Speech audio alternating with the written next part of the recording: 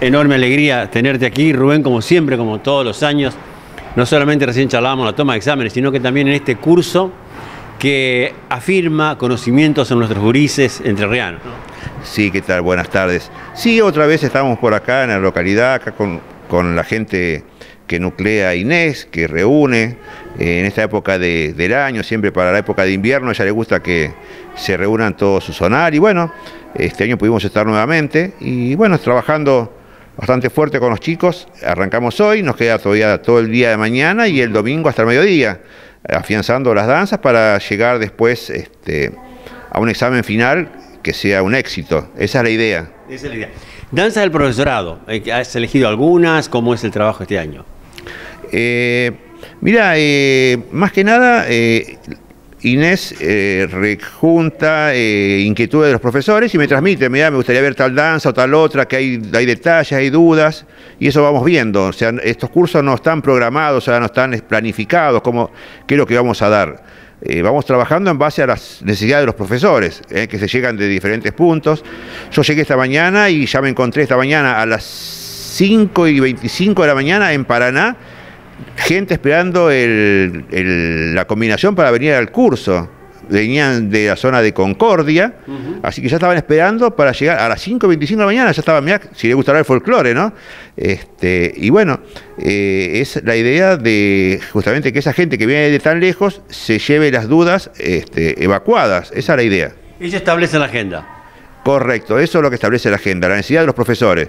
Porque no sirve nada que yo venga y diga, vamos a marcar tal danza o tal otra, y después se dice, uh, yo necesitaba tal danza porque no me acuerdo, porque hay profesores que se recibieron hace mucho y ahora el- la vida les da lugarcito como para poder poner su escuela y dedicarse a lo que realmente aprendieron cuando eran jovencitos, y claro, están olvidados. Sí, sí. Entonces pasa eso, que si yo vengo y marco danzas que se me ocurren a mí que pueden serles útiles, se van a ir con las manos a lo mejor no vacías, pero no con lo que ellos necesitaban.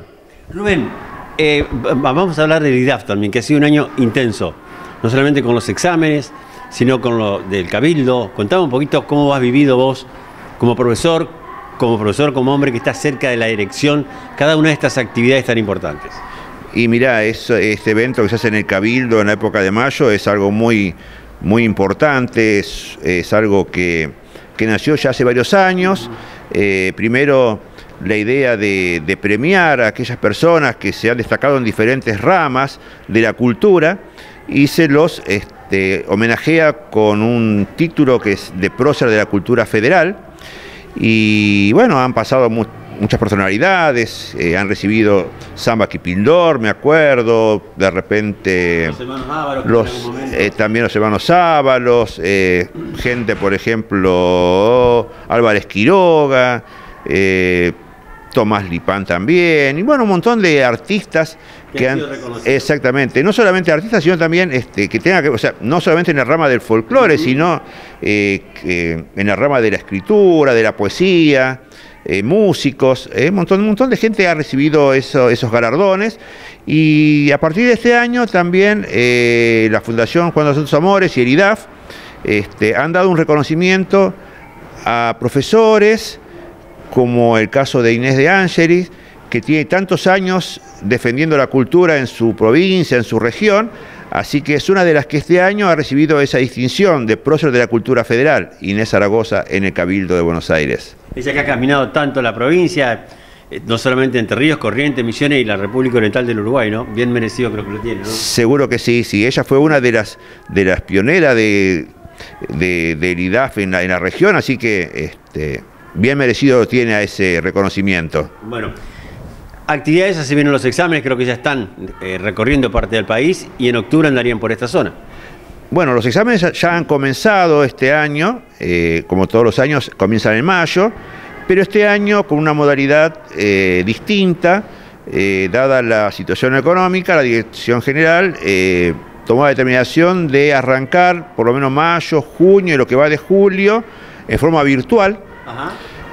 Este, como para que los profesores no pierdan su fuente de trabajo, porque realmente eh, está todo tan inalcanzable, lamentablemente llega a todos, a todos llega Esta eh, crisis. esta crisis, y bueno, eh, era una forma de, de poder evaluarlos a los chicos y que puedan rendir, y bueno, con la esperanza de que ya para agosto, septiembre ya esto se vaya acomodando y podamos este, salir nuevamente a las rutas a recorrer cada una de las escuelas como lo ha hecho Santos Amores tantos años. Tantos años, ¿no? Sí, sí. Y un poco ayornarse a lo que se, se, vive actualmente, ¿no? Adaptarse a esta situación. Eh, sí, sí, sí. Alguien dijo alguna vez, este, con la pandemia, que la virtualidad llegó para quedarse. Y no estaba equivocado. Y no estaba equivocado. Realmente este, eh, los exámenes han sido un éxito, se han tomado de forma virtual, este, pero en lo que es en lo que es eh, el IDAF, no está acostumbrada la gente a que sea de esa manera porque están acostumbrados a la, presencia, a la presencia,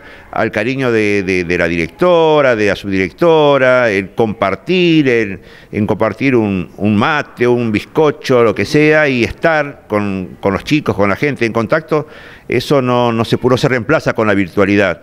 Mientras que para otras actividades la virtualidad es algo que ya viene trabajándose hace mucho tiempo, ¿no? Pero para nosotros es algo raro. Pero bueno, era una forma de, salir adelante, exactamente, de, estar, poder estar y que la gente pueda este, no perder el año de trabajo.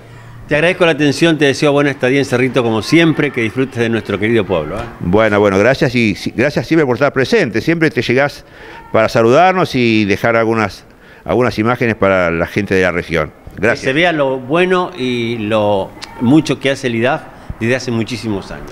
Y sí, sí. El año pasado, 70 años cumplió el IDAF. 70 años, así que bueno, fue un año de, de festejos por todo el país. Todo el país estaba esperándonos para, para festejar los 70 años con una torta, con todos. Así que bueno, este, muchos años de, que Don Santos Amores tuvo esa genialidad de crear lo que hoy es el IDAF, ¿no? Y con gran responsabilidad. Eso hay que destacarle a Juan de los Santos Amores, si no, no hubiese perdurado tanto, ¿no? Sí, sí, seguro, seguro. Él lo ha hecho con mucho respeto, siempre, este, siempre ha estado él presente desde la fundación, ha recorrido el país él en persona y bueno, hasta el 94 inclusive, porque fue mi primer año que lo acompañé y ya en el 95 se nos enfermó y ya después se nos fue físicamente, pero este, yo lo tuve de profesor y sé de cómo se manejaba el respeto que nos inculcó hacia nuestros símbolos patrios, eh, a querer nuestros, nuestros símbolos, ¿eh? cosas que lamentablemente se van perdiendo, ¿no? Uno ve de repente actos y uno dice, no puede ser que, que, esté pasando algo. que esté pasando, que tal persona no esté parada como corresponde, respetando la bandera, ¿no? Pero bueno, eh, Santo Amores nos inculcó ese respeto y lo, y lo tratamos de seguir inculcando a los alumnos, que no se pierda. Gracias, Rubén. Gracias a vos, ¿eh?